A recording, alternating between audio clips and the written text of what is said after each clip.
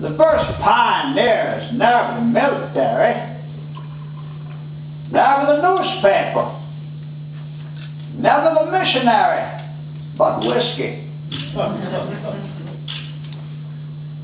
My name is Samuel Langhorne Clemens.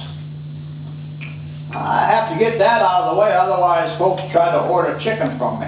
I Didn't make it myself. Came here by railroad. Most inconvenient way to travel. Now, I was so irritated when the conductor finally came down the aisle, I handed him the half fare. He looked at the fare, looked at me, looked back at the fare, looked back at me and said, I suppose you think you're a child. I said, no, but it was when I got on. you this evening a man of great learning, of high moral character, and superior intelligence. I speak to you in those vague terms about myself.